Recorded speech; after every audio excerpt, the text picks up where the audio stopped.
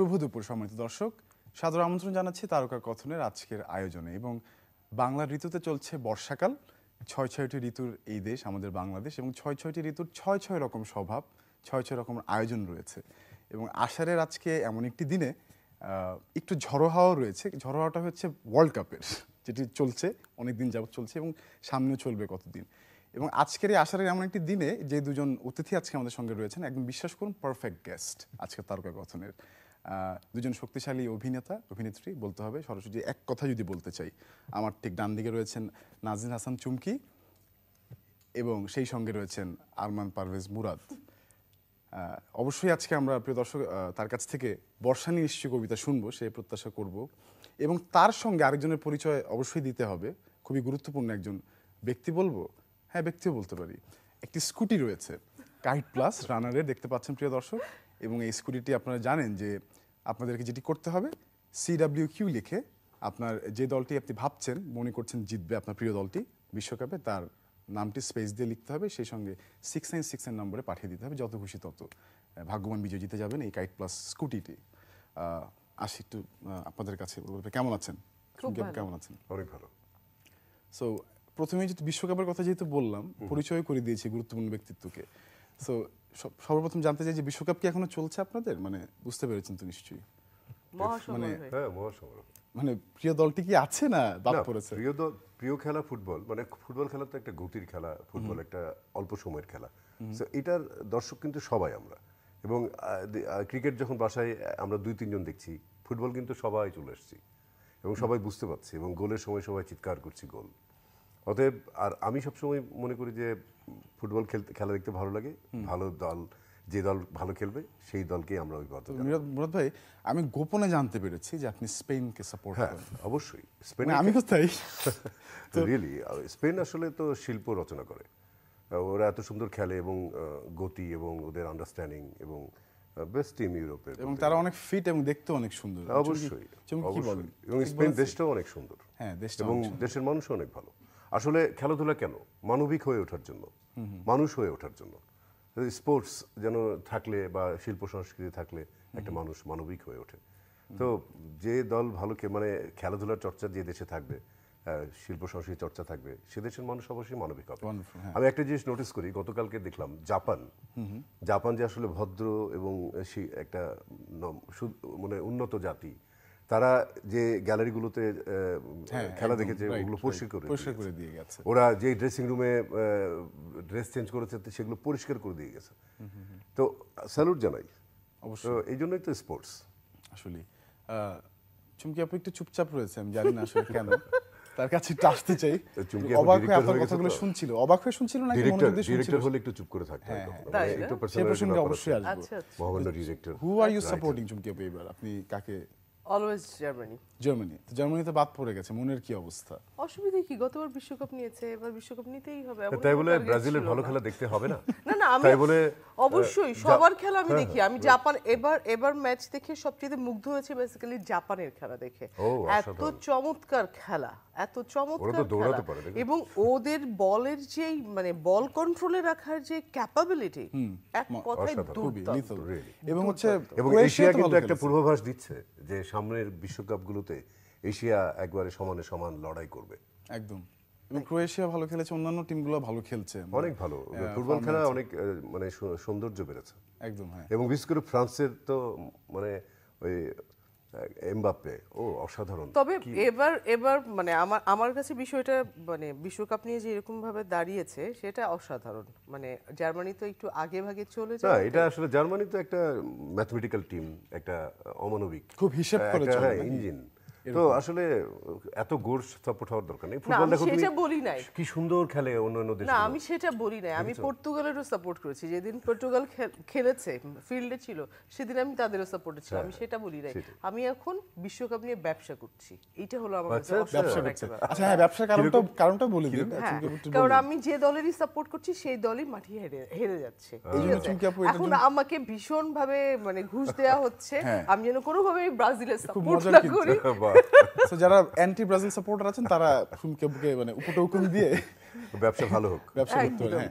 আমি এইটা নিয়ে রমরম অবস্থায় আছি খুবই ভালো বিশ্বকাপে আবার ফিরছি একটু কাজের কথা বলি একটু চুমকিয়াপুর কাছেই আসি লেডিস ফার্স্ট যে কি এখন তো ডিরেকশন নিয়ে একটু ব্যস্ততা আছে। আমি আসলে লেখালেখি অভিনয় এবং ডিরেকশন তিনটাতেই পাশাপাশি মানে খুব ব্যস্ত বলব না মনোযোগ দিয়ে যখন যেটা করা দরকার সেইভাবেই কাজ করে যাচ্ছি। তো নির্মাণের জায়গাটা একটু জানতে চাই যে আমরা তো জানতে চাই কি কাজ করছেন বা সামনে কি কাজ দেখতে পাবো বা বা এর মধ্যে খুব আনন্দের কাজ কোনটা ছিল এ মা দুজন মিলে যদি আজকে আজকে আলম পারভেজ মুরাদও না ডিরেক্টর তো মানে নিউ নিউ এক্সপেরিয়েন্স নিউ হ্যাঁ। রিপ্রেজেন্টেশন আমরা জানতে চাই, দর্শকরা নিশ্চয়ই জানতে চায়। না আমি অনেক আগে থেকে ডিরেকশন দিয়ে আসছি। সুতরাং এটা নিয়ে কোনো বিষয় না। তবে আপনার জানা উচিত ছিল। না আমাকে কোনোদিন কাস্টিং করেনি তো। আচ্ছা। আমি এই শুধু অভিনয় আসল কথা বেরিয়ে গেছে এটা ঠিক না কিন্তু আমি অভিনয় আমি কতজনকে কাস্টিং করব? আমি তো আর হর হবে সে ডিরেকশন আজকে বলেই দিল আজকে হয়ে যাবে না সেটাই। লাস্ট আমার লাস্ট ঈদে আমার একটা দুরন্ত টিভির জন্য একটা বাচ্চাদের নিয়ে কাজ গেছে। আমার মানে সবচাইতে ভয়ের কাজ মনে হয়েছে এবং সবচাইতে ভালো লাগা মানে তৈরি হয়েছে এটাই যে বাচ্চা শিশুদের নিয়ে কাজ করা যে কত বড় চ্যালেঞ্জ এই চ্যালেঞ্জটা আমি নিতে পেরেছি এটা আমার ভালো লাগা ছিল। কাজ ভালো হয়েছে বা আমি ভালোভাবে কাজ করেছি এটা আমি বলব না। কারণ কাজ তো কাজ তো ওর মধ্যে ওই কাজটার মধ্যেও যে ভুলগুলো ছিল আগামী প্রজেক্টে আবার সেটা আমি শুধরে নিব। সেই প্রজেক্টে আবার যে ভুল হবে তারপরের প্রজেক্টে শুধরে নিব। কাজ ভালো করছি সেটা বলব না বাট একটা চাইল্ড সাইকোলজি এবং ওরা তো আর আর্টিস্ট না। ওরা তো প্রফেশনাল না আমাদের মতো। ওদের তো মানে এনার্জির একটা ব্যাপার আছে। ওদের বোঝার কি ডায়লগ তারা থ্রো করছে সেটা বোঝার। কোন সিচুয়েশনে কোন ডায়লগটা দিচ্ছে সেইটা বোঝার। এই ক্ষমতাটা তো আমাদের কাছ থেকে একজন ডিরেক্টর যেভাবে আশা করে শিশুদের কাছ থেকে অবশ্যই না। তো এই চ্যালেঞ্জ চ্যালেঞ্জটা নিতে আমার মানে সাহস লেগেছে। এবং ভালো লেগেছে। এইজ গ্রুপটা কেমন ছিল? কত বছর ছিল মানে ছেলে মেয়েগুলো আমার সেটের সর্বোচ্চ মানে সবচেয়ে বড় যেই শিশুটি ছিল ওর ও এবার ক্লাস সিক্সে পড়ে। ও মাই গড এটা আসলে খুব কঠিন কাজ ছিল নিয়ে কাজ করা। মুরাদ ভাই নিশ্চয়ই একমত হবেন। আর হচ্ছে যে এবার একটু জিজ্ঞেস করে ফেলি আমি সবাইকে একটু জিজ্ঞেস করি নির্মা- নির্মাণ যারা করেন যে অনলাইনে আসলে মানে কি পরিকল্পনা? যেহেতু ইউটিউব একটা অনেক বড় প্ল্যাটফর্ম এখন। ফেসবুকও তাই। ফেসবুক আসলে ট্রাফিকটা ধরে, যেহেতু যদি যদি বলি যে ninety nine percent of the traffic আসে আসলে ফেসবুক থেকে। কিন্তু ইউটিউবে এখন আসলে নাটক বলেন সিনেমা বলেন শর্ট ফিল্মস এগুলো অনেক মানে ইউটিউবকে ঘিরে আসলে তৈরি হচ্ছে। তো সেই জায়গাটিতে আপনার পারসেপশন কি আর পরিকল্পনা? দুটোই জিজ্ঞেস করি আর পারসেপশন হলো যে ইউটিউবটা একটা পকেট হিসেবে দেখি আমি পকেট মিডিয়া হিসেবে দেখি একদমই। মানে আমরা হ্যাঁ টেলিভিশনের সাথে আমি আমার ইন্টারনেট সংযোগ করে আমি ইউটিউবে নাটক দেখছি বা নেটফ্লিক্স দেখছি সেটা অন্য ইস্যু একদমই ডিফারেন্ট ইস্যু কিন্তু আমার ম্যাক্সিমাম মানুষই কিন্তু ইউটিউবে নাটক দেখে মোবাইলে সেলফোনে না? হ্যাঁ। সুতরাং ওর মেকিং এর ধরনটা হবে আলাদা। এবং ডেফিনেটলি শর্ট ডেভিশন হবে আমার আলাদা। স্টোরি টেলিং হবে আলাদা। মানে অ্যাক্টিং প্যাটার্নটা একটু হলেও ডিফারেন্ট হবে। একটু হলেও ডিফারেন্ট হবে। সেটা কি মানে ক্যামেরার কাজ মনে করি। আচ্ছা। এভরিথিং মানে এভরিথিং মানে আমরা বড় পর্দার জন্য বড় পর্দা বলি আমাদের টেলিভিশন মিডিয়া বলি সবকিছুতে আমরা যেই ছকে বাধা বা এক ধরনের লিমিটেশনস না এক ধরনের দৃষ্টিভঙ্গি থেকে বানাই বা একভাবে আমরা ডিজাইন করি। ঠিক আছে? ওই ডিজাইনটা ফুল ব্রেক করবে যখন আমি পকেট মিডিয়াতে চলে যাব। এবং মানে এভরিথিং মানে ইয়ে পর্যন্ত আমার স্টোরি টেলিং পর্যন্ত। বাট একটা জিনিস আমার কাছে পকেট মিডিয়াতে খুব ইম্পর্টেন্ট মনে হয় সেটা হলো আর্টিস্ট আমরা বাংলাদেশে যেটা ভুল করি সেটা হলো যে ভিউয়ারশিপ যার যত ভিউয়ারশিপ সেই ছেলেটা বা মেয়েটাকে নিয়ে নাটক বানালে হয়তো আমাদের দর্শকরা নাটক দেখবে। এই ধারণাটা হয়েছে কি আমরা তো আমাদের টেলিভিশনে প্রচারকৃত নাটক আমরা ইউটিউবে দিচ্ছি সেই কারণে। ঠিক আছে? কিন্তু পকেট মিডিয়াতে আমি এমনও অভিনেতাদের অভিনয় দেখেছি আমি বলছি না যে বাংলাদেশের দেশের বাইরের হ্যাঁ। কথা তারা একজন অভিনেতা তার চেহারা নাই তার হাইট নাই বাট সে একজন অভিনেতা। আমার আমার কষ্ট হয় ও হাসলে আমি হাসি ও কাঁদলে আমি কাঁদি। এখানে আসলে কোন মানে সেই জিনিসটা আমাদের দেশে এখনও আসেনি আসা দরকার। এবং আমার মনে হয় যে আমরা যখন এই জিনিসটা নিব আমি যখন একজন অভিনেতাকে প্রপারলি রিপ্রেজেন্ট করব আমার ইউটিউবের মধ্যে দিয়ে শুধুমাত্র ইউটিউবের ইউটিউব বলব না আমি মানে অনলাইনের জন্য কন্টেন্ট বানাবো আমি যখন একজন অভিনেতাকে সেটা সাফি হোক আর আমার কালাম ভাই হোক আর যেই হোক আমি যাকে আমি ওইভাবে রিপ্রেজেন্ট করব সেই সবার কাছে হিরো হবে। তার জন্য সবাই কষ্ট। পাবে। এবং তাহলে তাহলে আমরা আশা করব যে চুমকি আপু আপনি সামনে আসলে এই ধরনের চিন্তা ভাবনা নিয়ে অনলাইনে নিশ্চয়ই ভালো কিছু কাজ শর্ট ফিল্ম বা যেটাই হোক যে কোনো কাজই হোক। মুরাদ ভাই কতটুকু একমত চুমকি আপুর কথার সাথে? না আমি টেলিভিশন চ্যানেলে বসে অনলাইন নিয়ে কথা বলছি এটা একটা বড় ব্যাপার। যে টেলিভিশন আসলে একটা টাইমে চলে আর অনলাইন তো যে কোনো সময় টাইম আমি নেই। পাচ্ছি। হ্যাঁ আর অনলাইন হচ্ছে যে কারা দেখছে এটার ভিউয়ার কারা আসলে? যারা যাদের আহ, বুদ্ধি শুদ্ধি রুচি কোন লেভেলে আছে? আর আসলে টেলিভিশনের নাটক কারা দেখে? তাদের রুচির জায়গাটা কোথায় এবং তাদের এডুকেশন কি? তো এটা কিন্তু খুবই ক্লিয়ার যে আমরা ভিউয়ারশিপটা ইউটিউবে কাদের কোন গ্রুপেজ তো তাদেরকে যদি আমরা মেন ভোক্তা বানিয়ে ফেলি এবং তাদের জন্য তাদেরকে এন্টারটেইন করার জন্য হ্যাঁ, কিন্তু- দিন না না অবশ্যই নয়। ওই দিন ডাটা নিয়ে দেখেন না না না না সেটা আমি আমি এখন গুটি কত কি ছকে ফেলে পারব না। আমি তো বললাম যে আমাদেরকে চেঞ্জ না আমরা টেলিভিশন চেঞ্জ করি কিন্তু। টেলিভিশনে ইউটিউবে দেখছি কিন্তু নরমালি মোবাইলে কিন্তু ওই ধরনের কি হয়? সিনেমা হলে আমি দিচ্ছি না একটা অন্ধকার একটা অন্ধকার হলে আমি সিনেমা দেখব যেটা সাউন্ড সিস্টেম যেটা আমাকে একবারে বুথ করে দিবে। তো সেটা না করে আমি একটা ছোট্ট মনিটরে কিন্তু এত নয়েজের মধ্যে তা আমরা তো সবগুলো তো ডিফারেন্ট আমরা এত চিফ কেন? আমরা এত সস্তা কেন? যে আমরা এত অ্যারেঞ্জমেন্ট মিলায়ে করে ফেললে হবে না আমরা এত অ্যারেঞ্জমেন্ট করে একটা গল্পকে রিপ্রেজেন্ট করছি মানুষের জন্য। কেন? মানবিক হয়ে ওঠার জন্য বা একটা কোনো কিছুর জন্য। তো শুধুমাত্র একটা অরুচিপূর্ণ জিনিস আমি দিয়ে তাদের ভিউয়ারশিপ দিয়ে আমরা একটা ইউটিউবকে প্যারালালি একটা প্ল্যাটফর্ম বানিয়ে ফেলছি। কিন্তু আমাদের টেলিভিশন চ্যানেলগুলো কিন্তু ভাই কোথায় যাবে? ইউটিউবের তো আসলে কল্যাণ রয়েছে কারণ এটা রিচটা তো অনেক বেশি। না না সেটা তো আছেই কিন্তু সেটার জন্য সেটা তো এখান থেকে এই কন্টেন্টগুলো যেতে পারে। বা ইউটিউবের কিন্তু ইউটিউব একটা কম্পিটিটর প্ল্যাটফর্ম তাহলে টেলিভিশন চ্যানেলগুলো কি পরবর্তী সময় ইউটিউব চ্যানেল হয়ে থাকবে?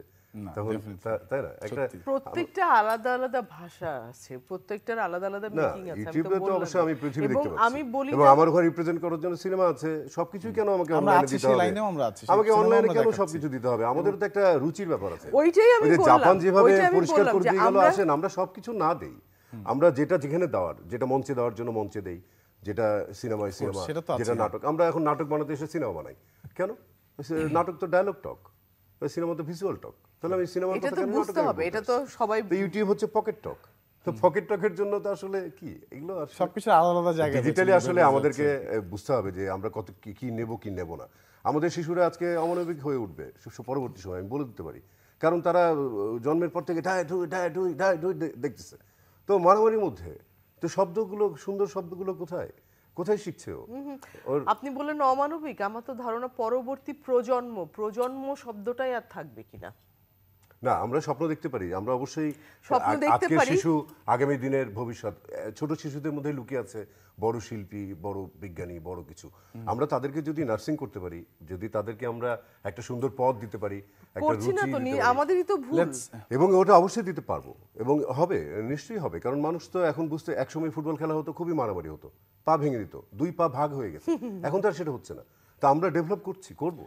চলচ্চিত্রের কথা বলছিলেন চলচ্চিত্রের কথাই বলছি এখন। ঘানিতে আসি আমরা একটু দুজনই আছেন এখানে ঘানির দুজন কাস্টে আছেন এবং জাতীয় পুরস্কার পেয়েছেন। এটা অনেক বড় গর্বের ব্যাপার প্রথম এবং শেষ না বলি অবশ্যই সামনে নিশ্চয়ই আরও আমরা চাইব আপনি। এই পর্যন্ত আর কি। ভালো দীর্ঘ কাজ দীর্ঘ তো সময়। ইমপ্রেস স্টাইল ফিল্মের ঘানি সিনেমায় কাজ করার অভিজ্ঞতা একটু দুজন যেহেতু একসাথে পেয়েছি একটু যদি জানতে চাইবই যে কলিগশিপ যেখানে মাঝখানে রয়েছে আপনাদের দুজনের।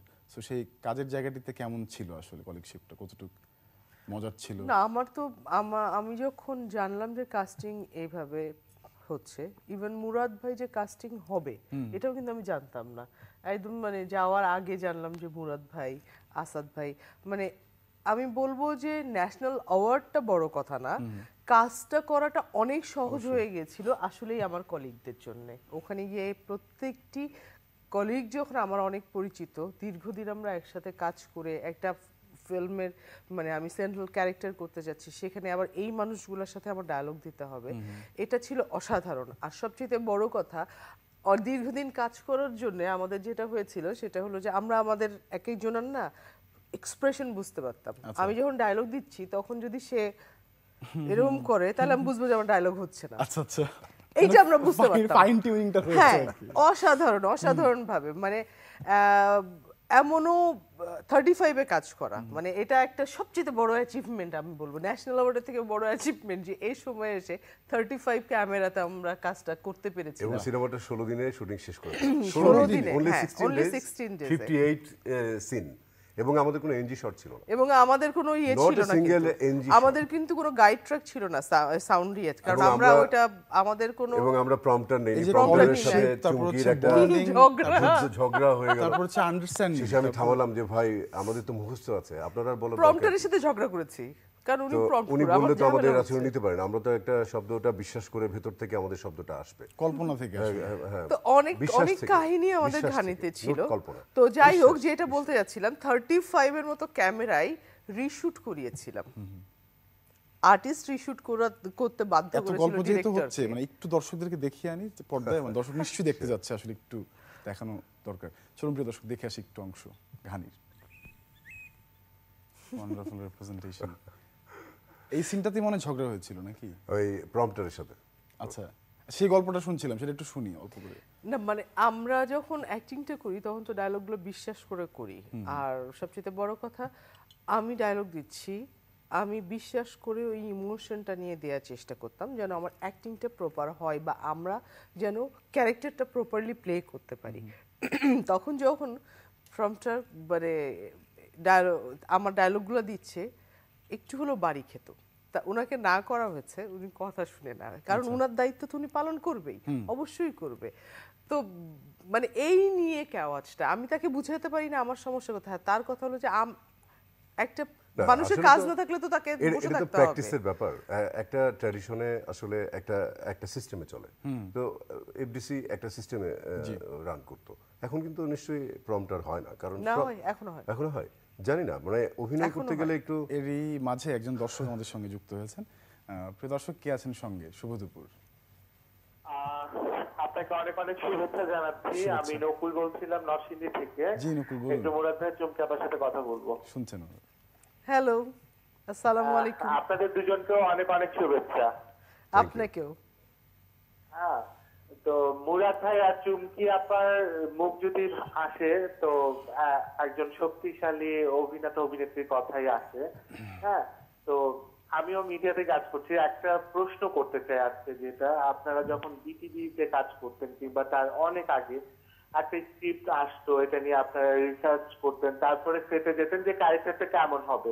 কিন্তু বর্তমান সময় আমরা এত কমার্শিয়াল হয়ে গেছি সেটার মধ্যে স্ক্রিপ্টটা দিচ্ছে অনেক সময়।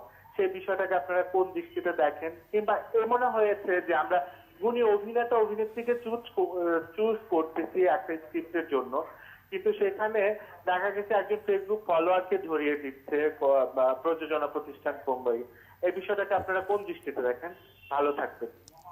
নকুল, ধন্যবাদ ফোন করবার জন্য। আর হচ্ছে বিশ্বকাপে যে দলটিকে সাপোর্ট করছেন, সেই দলটি যদি আপনি এই কাইটটির কথা বলেছি কাইট স্কুটির কথা প্রথমেই বলেছি। সেটা জিততে হলে যে দলটি প্রেডিক্ট করছেন জিতবে তার নাম লিখতে হবে সিডাব্লিউ কিউ স্পেস সেই দলটির নাম এবং সিক্স নাইন সিক্স নাইন নম্বরে পাঠিয়ে দিতে হবে।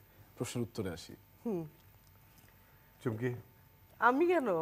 আরে আপনি শুরু না করেন। আপনি তো বেশি ইনভলভ আমার থেকে। প্লিজ না না না বিষয় একদমই ওর কথা ওনার কথা শুনে আমার যেটা মনে হলো যে খুবই সত্যি কথা। য- আমরা যখন দিনে দিনে তো টেলিভিশনের সংখ্যা বেড়েছে না? অনেক। স্টেশনের সংখ্যা বেড়েছে। হ্যাঁ এখন খুবই ভালো লাগে যেটা সেটা হলো কোনো চ্যানেল মানে পুরোপুরি স্পোর্টস হয় নাই বাংলাদেশে কিন্তু স্পোর্টস অনেক বেশি যাচ্ছে। নিউজ চ্যানেল হয়েছে আমাদের বিনোদনের ইয়ে হয়েছে শিশুদের জন্য চ্যানেল হয়েছে। তো সবকিছু মিলিয়ে কিন্তু টেলিভিশনের সংখ্যা অনেক অনেক হ্যাঁ। মানুষের কিন্তু কাজ বেড়েছে কিন্তু খুবই দুঃখজনক মানুষের মধ্যে প্রফেশনালিজম বাড়েনি।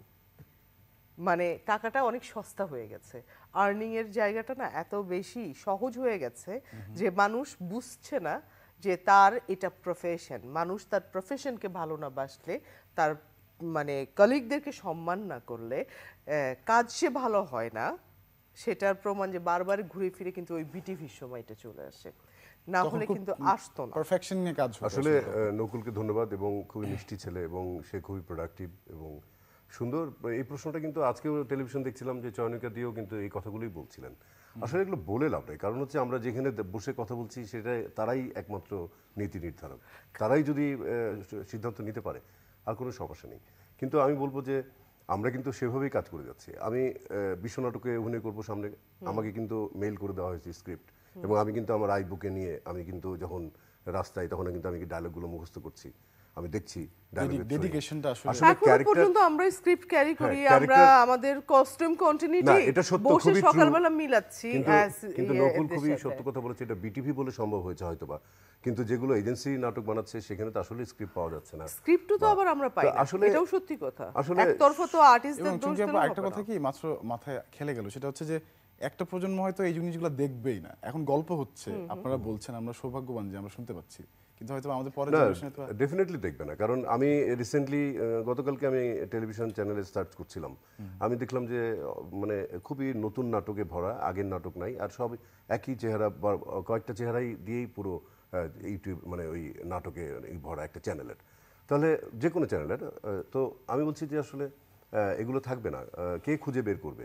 আর আসলে ব্যাপার হলো কি প্রথম কথা হচ্ছে যে পৃথিবী সৃষ্টির পর থেকেই নীতি নির্ধারক যারা পৃষ্ঠপোষক যারা তারা কিন্তু হয়তো মোগলের সময় মোগল এই ইংরেজ এই জমিদার এই সরকার। তো আসলে যদি নিজেরা নিজেদেরকে সম্মান করতে না পারি শিল্পীদেরকে যদি দেশে রিপ্রেজেন্ট করতে না পারি ট্রু শিল্পী বলতে যা বোঝায় সেইভাবে যদি আমরা শিল্পীদেরকে না করতে পারি তাহলে তো হবে না। এই সেই দিকে মনোযোগী হতে হবে যে নিজেদের যাদের যোগ্যতা আছে তাদেরকে শুধুমাত্র আমরা সুযোগটা দিতে পারি। আপনাদের আপনাদের জায়গা থেকে আসলে কি করবার রয়েছে আমি জানি না but we would humbly request you যে এই জিনিসটা যাতে হারিয়ে না যে প্র্যাকটিসগুলো যাতে জানতে পারে পরের প্রজন্ম সেই ক্ষেত্রে যদি কিছু করার থাকে অবশ্যই আপনারা করুন না ব্যাপার হলো যে না পরের প্রজন্মকে নিতে হবে। না পরের হবে। প্রজন্ম প্রজন্ম না। আসলে ব্যাপার হলো যে কাজটা সুবিধা হয় কিসের? এবং কাজের বোধটা কোথায়? কাজের রুচির জায়গাটা কি? বোধটা যদি মাথার মধ্যে থাকে তাহলে কিন্তু আসলে অন্যভাবে কাজ এখন এখন যেমন আমরা নাটক কি দেখতে চাই? দেখতে চাই যে হলো এটা ওটা সেটা। কিন্তু আমার কথা হলো যে নাটক অবশ্যই দেখানো উচিত যেটা হলো জীবনের কথা। যেটা হলো মানবিকতার কথা যেটা শিক্ষণীয় কথা। এগুলো বলে তো লাভ হচ্ছে না কারণ যা দেখার মানে তাই দেখছি। সুতরাং আহ, আসলে এত বেশি হচপচ আসলে আমরা মানে- আরও মানবিক যেন হয়ে উঠি আমরা যেন শিল্প সংস্কৃতি একটা সাধনার জায়গা। সেখানে যেন আমরা সাধনা করতেই আসি শুধুমাত্র ব্যবসা নয়। ব্যবসা নয়। সেই প্রার্থনাটা করি এবং মানুষ যদি বুঝতে পারে যে জীবনটা ছোট এবং এই জীবনে আসলে রিপ্রেজেন্ট করা ছাড়া কিছুই থাকে না আমি একজন মানে এস এম সুলতানের ভীষণ ফলোয়ার উনি বলতেন যে জীবনে সব কিছু চলে যায় শুধু নামটাই রয়ে যায়। তো আমরা নামটা রয়ে যাওয়ার জন্যই যদি জীবনে কাজ করতে পারি তাহলে আমার মনে হয় যে সবকিছু ভাই প্রত্যেকবার কি হয় জানেন তো? যে আপনি যখন গেস্ট থাকেন চুমকি থাকে কথা কিন্তু শেষ হয় না প্রশ্ন শেষ হয় এটা হবে না কথায় হ্যাঁ, কথা বাড়বে। অনেক কথা হবে এবং কথা রয়ে গেল আগামীতে ইনশাল্লাহ আরেকবার আমরা বসে আরও অনেকবার বসে। এবং দুটি উপহার রয়েছে আমাদের দুটি বই রয়েছে হাতে এবং সেই সঙ্গে দুটি আইসক্রিম পার্লারের কুপন রয়েছে। আমি শিওর যে আপনারা বই পড়েন খুব ভালো মতোই। তার আগে আমরা একটু পাঠক সমাবেশ থেকে ঘুরে আসব যারা বইটি দিয়েছেন। চলুন প্রিয় দর্শক। পাঠক সমাবেশ কেন্দ্র। ঢাকার শাহবাগে শীতাতপ নিয়ন্ত্রিত পাঠক সমাবেশ কেন্দ্রে রয়েছে বাংলা ও ইংরেজি ভাষার দেশি বিদেশি বিপুল সংখ্যক শিরোনামের বই। পাঠক সমাবেশ কেন্দ্রে আসুন। আপনার পছন্দের বইটি সংগ্রহ করুন। এটি আপনার জন্য এবং। মুরাদ ভাই এটা আপনার জন্য। থ্যাংক ইউ সো মাচ পাঠক সমাবেশকে অসংখ্য ধন্যবাদ এমন একটি উদ্যোগ নেবার জন্য। অবশ্যই এবং এখন তো বই পাওয়াই যায় না। হ্যাঁ এত সুন্দর ক্যাফেটেরিয়াতে আসলে একটা ক্যাফের মতো একটা পরিবেশ পেলে বই পড়ার আগ্রহ আসলে বেড়ে যায় পাঠকদের প্রিয় দর্শক যারা তখন আমাদের সঙ্গে ছিলেন তাদেরকে অনেক অনেক ধন্যবাদ। সবাই অনেক অনেক ভালো থাকবেন এবং আরও একবার বলে দিচ্ছি যে অতিথি আরেকজন আছেন আমাদের সঙ্গে কাইট প্লাস রানারের সেটি জিততে হলে যেটি করতে হবে সি ডাব্লিউ কিউ লিখে স্পেস দিয়ে আপনার প্রিয় দল অর্থাৎ যে দলটি জিতবে আপনি মনে করছেন সে দলের নাম লিখে সিক্স নাইন সিক্স নাইন নম্বরে যত খুশি তত এস এম এস পাঠাতে থাকেন। আর স্ক্রিনে তো আপনাদের দেখানো হচ্ছে কীভাবে কি করবেন। আর মুরাদ ভাই চুমকি আপা আপনাদেরকে অনেক অনেক ধন্যবাদ এবং may the best team wins যে দলটা আসলে যোগ্য সেই দলটি জিতবে আশা করছি। থ্যাংক ইউ সো অনেক মাচ অনেক অনেক ধন্যবাদ হ্যাঁ হ্যাঁ ব্রাজিল জিতবে। ঠিক আছে। দর্শক খোদা হাফেজ সবাই ভালো থাকবেন।